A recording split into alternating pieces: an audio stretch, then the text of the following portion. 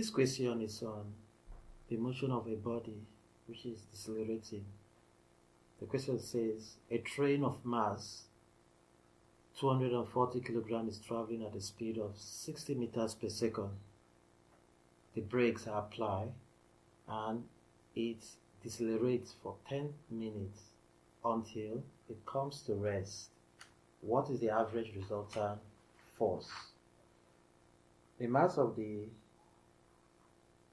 moving object, that is the train, is giving us 240,000 kilogram. Initial speed as it's traveling 60 meters per second. The brakes applied and it decelerates for 10 minutes. That's the time. That's time is 10 minutes. You have to convert that to the SI unit. That is 10 times 60.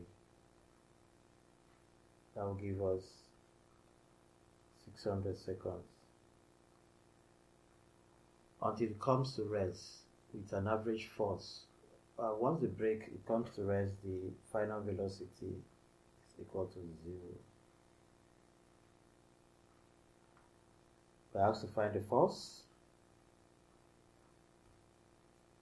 The equation that relates force and speed acceleration is mass final velocity minus initial velocity over time if we substitute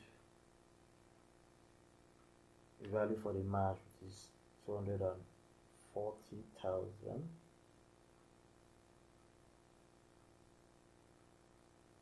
multiply the speed the final velocity is 0 initial velocity is 60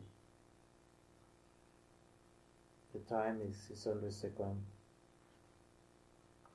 600 seconds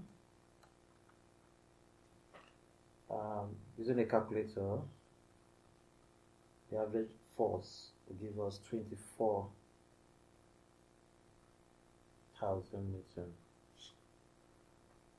so that is the average force. The average resultant force is 24,000 newton.